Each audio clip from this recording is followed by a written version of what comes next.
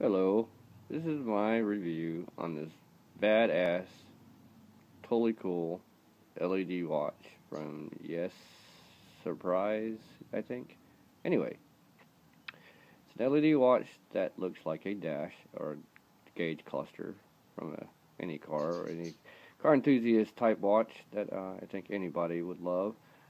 Anyway, it's LED and it tells the time, date, week, and month and all that junk but here it is. I noticed nobody on the internet has done this, so I thought I'd show off mine. Here it is. There it is. Time, date, week,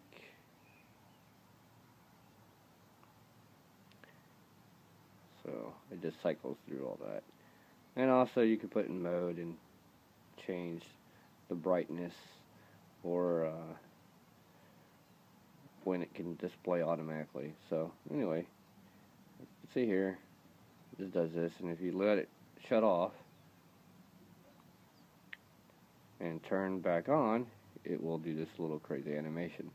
Anyway, it's a nice little watch, looks great, good band, you know, rubber, plastic, whatever, probably bright.